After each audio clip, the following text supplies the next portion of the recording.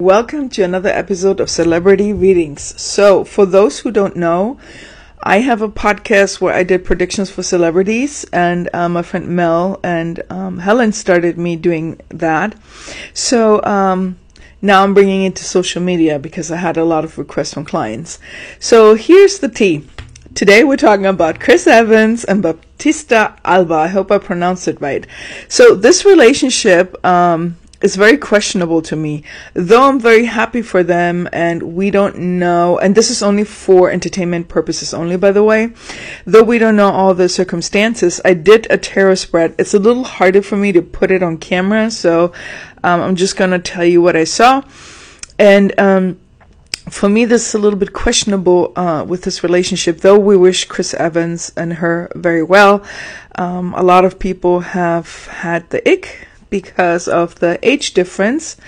Um, she's in her early 20s. I don't even know if she's 25, but that is not the main issue. What I'm seeing is, and uh, the blind items and Gossip has it that they're engaged and they're building a house in Boston.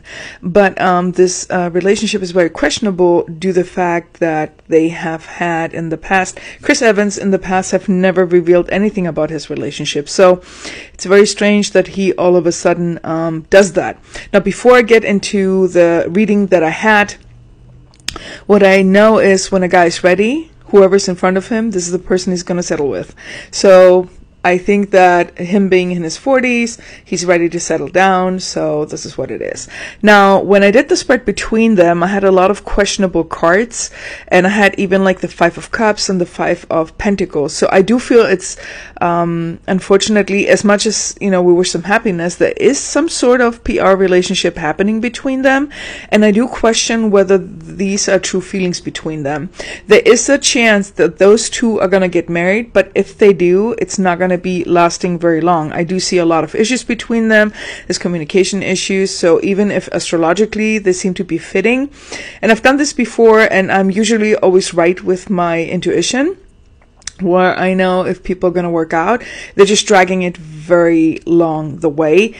I don't see that this is going to work out between them. I'll be very shocked if it does come to a marriage. If it does, though, we wish them all the best, but I feel like it's going to crumble sooner than later.